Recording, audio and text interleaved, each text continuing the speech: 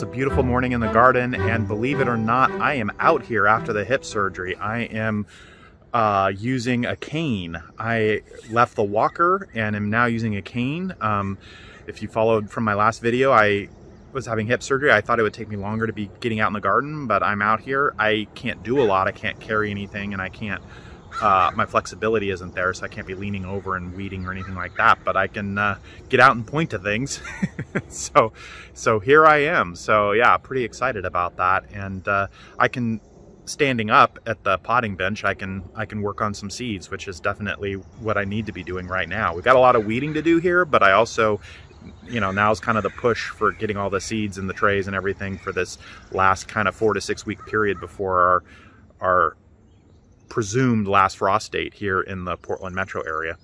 All right, well, that's uh, just a quick update for where I'm at personally and, uh, and how I'm enjoying uh, the beautiful weather out here this morning.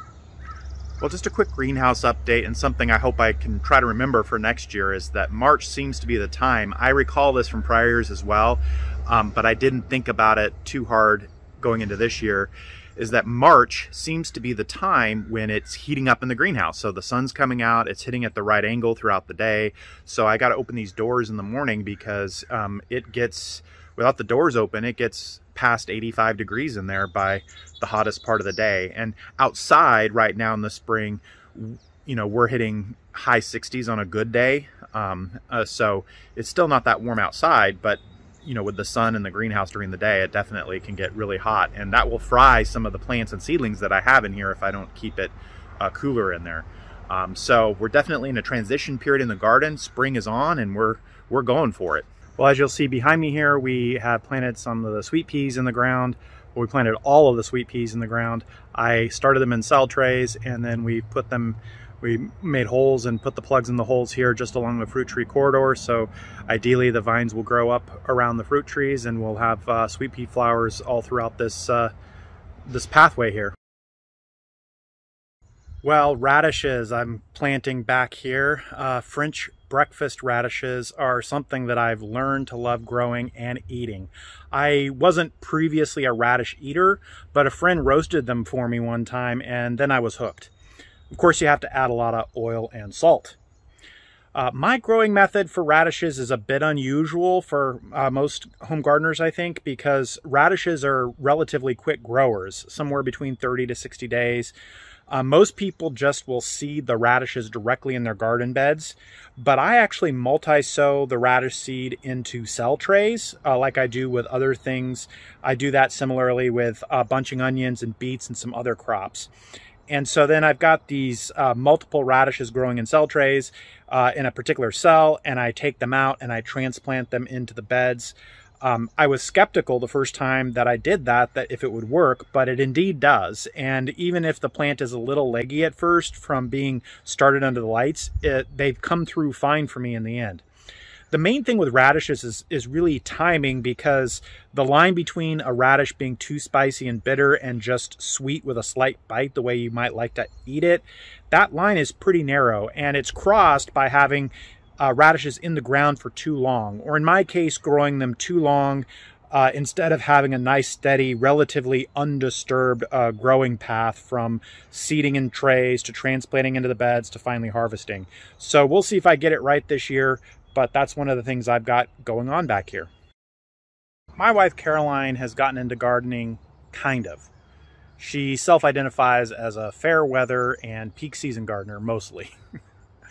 I tend to like gardening alone myself. Um, it's a time for me for meditation, listening to books and podcasts, and just general kind of thinking things out for me. Uh, but with my hip on the mend, I need to compromise my normal process a bit. I need, I need to help and I need to collaborate more.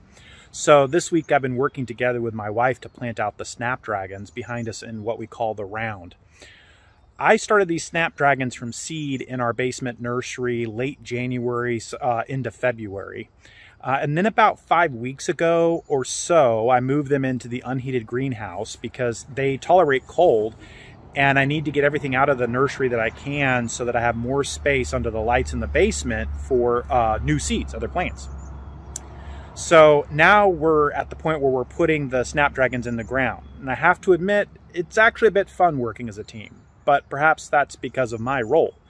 Um, I'm just going around making plug holes with my staff, uh, and I normally would do it that way anyway, even even without the hip issue, because I like to save my back from bending over all the time when I'm making holes for plants.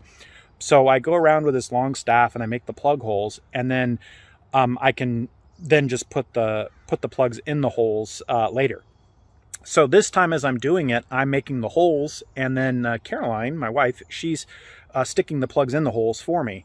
And uh, she is now the self-proclaimed in charge of the flowers in the garden. So uh, she's also determining where I make the holes for the snapdragons.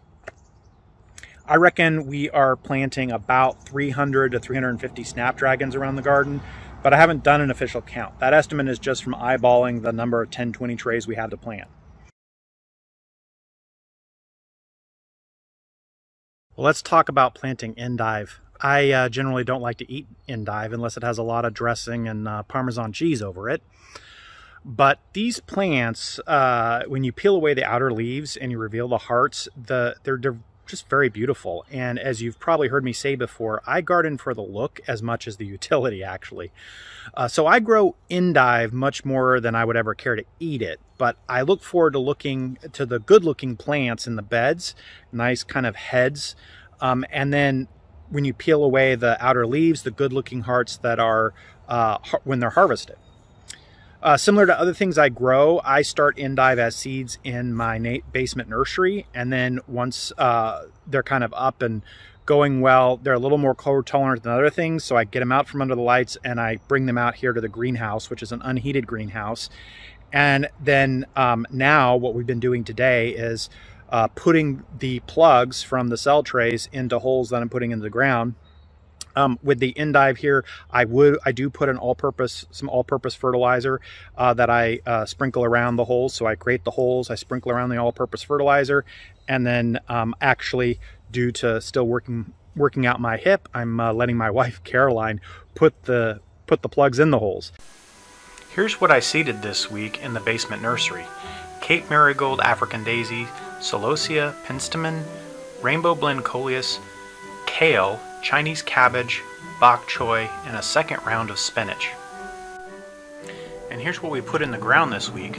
Sugar snap and shelling peas, French breakfast radishes and endive, onions and shallots, snapdragons, and sweet peas. So back here, similar to what I've done in prior years, I'm planting peas in this uh, cage kind of area here so they can trellis up the fence. And uh, ideally, typically what we do is we plant the peas there and then in front of the peas plant something like um, Chinese cabbage or broccoli or something of that nature. Um, probably more of like a Chinese cabbage or a bok choy, something that will uh, grow quickly because when the peas are done in around June-ish is when the pumpkin plants start taking over and the pumpkin plants will take over the entire bed and then we'll trellis them up this uh, cage behind me here.